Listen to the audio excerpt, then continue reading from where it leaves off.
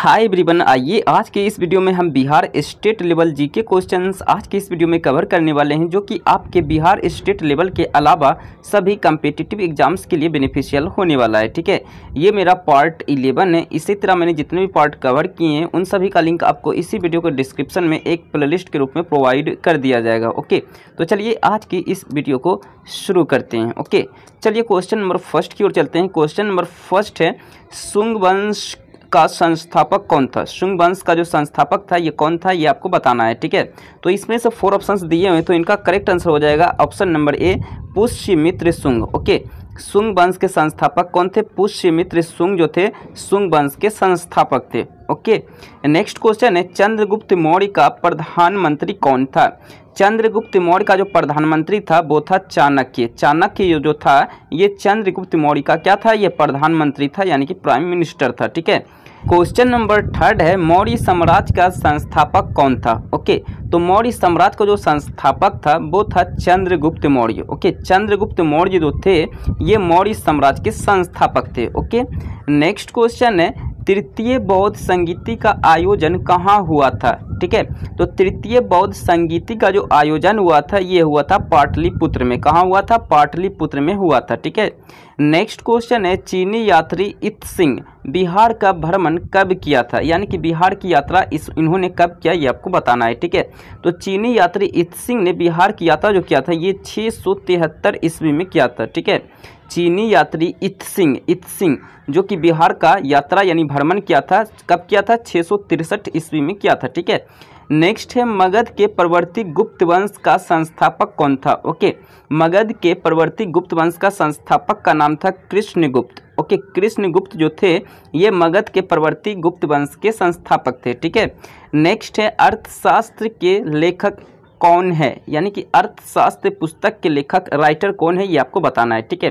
तो इनके राइटर यानी लेखक जो है, वो है चाणक्य, जिन्हें हम लोग कौटिल्य के नाम से भी जानते हैं, ठीक है? चाणक्य यानी कि कौटिल्य, ठीक है?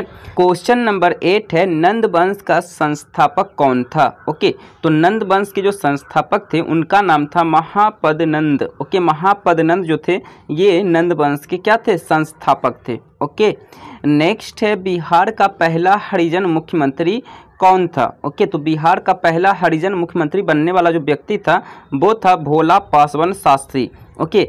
भोला पासवान शास्त्री एक ऐसा व्यक्ति था जो कि हरिजन था और ये बिहार का मुख्यमंत्री यानी चीफ मिनिस्टर भी बना था, ठीक है? नेक्स्ट क्वेश्चन है, बिहार में किस स्थान पर महावीर स्वामी का जन्म हुआ था?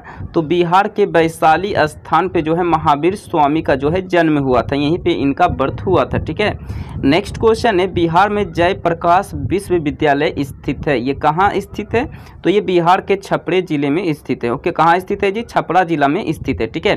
बिहार में जयप्रकाश विश्वविद्यालय जो स्थित है, कहाँ स्थित है जी? तो ये बिहार के छपरा जिला में स्थित है, ठीक है?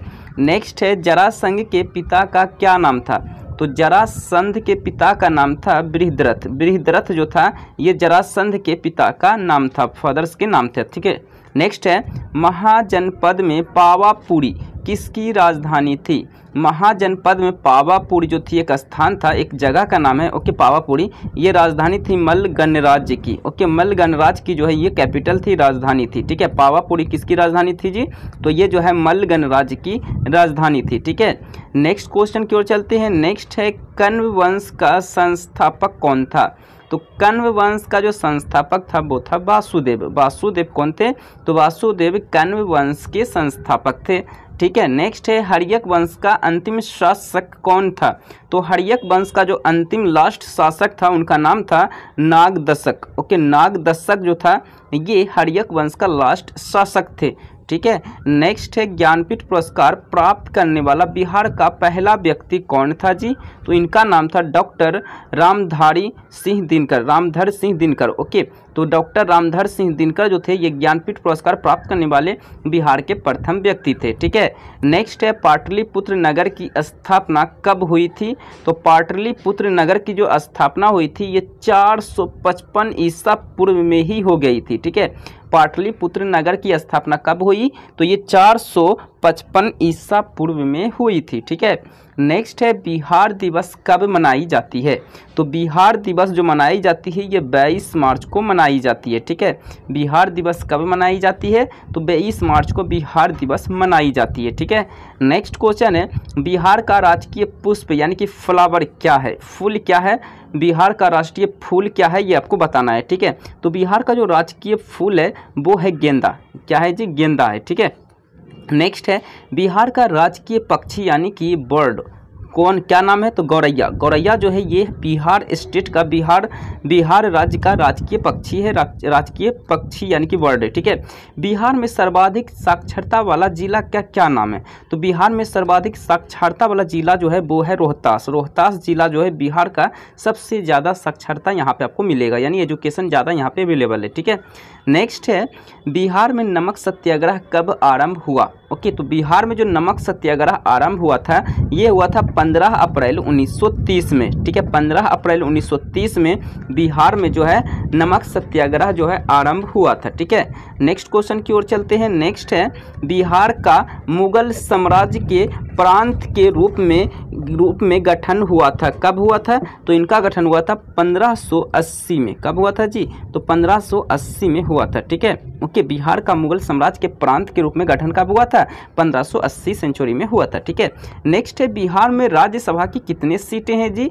तो बिहार में जो है राज्यसभा की कुल 16 सीटें हैं, ठीक है? राज्यसभा के लिए कुल, राज्यसभा की बात हो रही, लोकसभा की नहीं बात हो रही, ठीक है? तो बिहार में राज्यसभा की राज्यसभा की जो कुल सीटें हैं, टोटल सोलह यानी कि सिक्सटीन सीटें हैं, ठीक है? नेक्स्ट है बिहार सोशलिस्ट पार्टी के संस्थापक कौन थे? तो बिहार सोशलिस्ट पार्टी के संस्थापक जो थे, वो थे जयप्रकाश नारायण, ठीक है? बिहार सोशलिस्ट पार्टी के संस्थापक कौन थे? जयप्रकाश नारायण थे, ठीक है? नेक्स्ट है पटना को प्रांतीय राजधानी किसने बनाया था? तो पटना को प्रांतीय राजधानी बनाने वाला शासक का नाम था शेर शाह कौन था जी? शेर शाह जिसे शेर शाह सूरी के नाम से भी हम लोग जानते हैं। नेक्स्ट है, पाटलिपुत्र के संस्थापक कौन थे? तो पाटलिपुत्र के जो संस्थापक थे, उनका नाम था उदयन। उदयन जो था, ये जो था उदयन। ओके यहाँ पे मैंने एक्स्ट्रा कुछ यहाँ पे मिस मिस यहाँ पे हो चुका है, ठीक है? तो उदयन इनका यहाँ पे पूरा का पूरा नाम था, ठीक है? तो यहाँ पे उदयन सिर्फ़ होगा। ओके यहाँ पे ये एक्स्ट्रा यहाँ पे टाइप हो चुका है, ठीक है? तो पाटलिपुत्र के संस्थापक जो थे, उदयन थे, ठीक है? याद रखिएगा, उदयन यानी ऑप्शन नंबर एक करेक्ट आंसर हो जाएगा, ठीक है?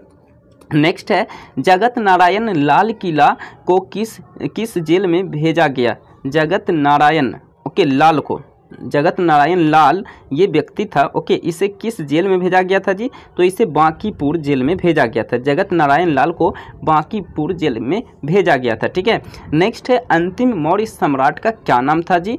तो अंतिम मौर्य सम्राट जो था, वो था बृहद्रथ। बृहद्रथ जो था, ये अंतिम मौर्य सम्राट था, ठीक है? नेक्स्ट क्वेश्चन एंड लास्ट है, सम्राट अशोक के पिता का क्या नाम था? वो वो कौन थे? तो उनका नाम था बिंदुसार, ओके? सम्राट अशोक के पिता का नाम क्या था जी? तो बिंदुसार था, ठीक है? तो आज की इस वीडियो में मैंने बिहार स्टेट लेवल जी के क्वेश्चन मैंने कवर किए हैं थर्टी क्वेश्चन ओके तो इसी तरह पार्ट बाय पार्ट हम लोग वीडियो बना करके हम मिलते रहेंगे, ठीक है? तो आज के लिए इतना ही। वीडियो को लाइक करें चैनल को सब्सक्राइब करें। मिलते हैं नेक्स्ट वीडियो में। सो आज के लिए इतना ही। So thank you